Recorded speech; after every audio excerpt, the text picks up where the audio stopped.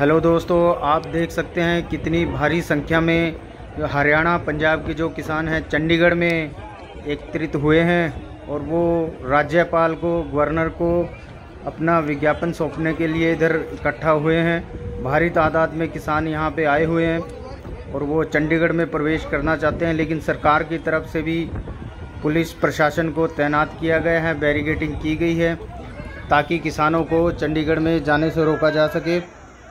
Police प्रशासन की तरफ़ से भी बहुत भारी संख्या में जो है सुरक्षा बल को तैनात किया हुआ है। बैरिगेटिंग की गई है और देखिए किस तरह से किसानों के ऊपर पानी की बौछारें की गई है। यहाँ पे आप देख सकते हो किस तरह से किसानों के ऊपर पानी की जो है बौछारें की जा रही हैं।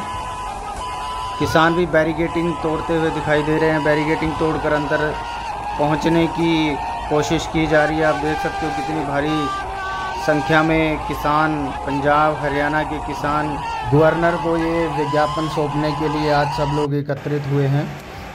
ये देखिए किस तरह से यहाँ पे बैरिगेटिंग की गई और बैरिगेटिंग के साथ ही भारी संख्या में पुलिस को तैनात किया गया है, सुरक्षा बलों को तैनात किया गया है।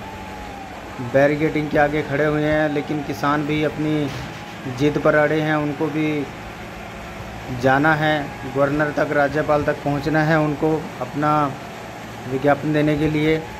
लेकिन पुलिस उनको अंदर जाने से रोक रही है, आप देख सकते हो। वीडियो में आप देख सकते हो। और साथ के साथ वीडियो देखते हुए दोस्तों, मेरे चैनल को सब्सक्राइब करना ना भूलिए। आगे आपको कुछ और वीडियोस दिखाते हैं। आज की भारी संख्या में देखिए कैसे पानी की बौछारें किसानों के ऊपर की जा रही हैं। लेकिन किसान भी डटे हुए हैं। किसानों के इरादे मज़बूत हैं और वो डटे हुए हैं। देखिए किस तरह से और ये बैरिगेटिंग को हटाया जा रहा है किसानों द्वारा। ये देखिए किस तरह से बैरिगेटिंग को हटाया जा रहा है। आप देख सकते हैं वीडियो में किस तरह से बैरिगेटिंग को हटाने की कोशिश की जा रही है किसानों द्वारा और पुलिस प्रशासन उनको रोक रहा है किसानों को अंदर जाने से। आप देख सकते हैं किस तरह से दोनों आमने सामने हैं। एक यहाँ स्थिति बड़ी ही गंभीर बनी हुई है। आप देख सकते हो आपसी टकराव किसानों को और पुलिस प्रशासन के बीच में।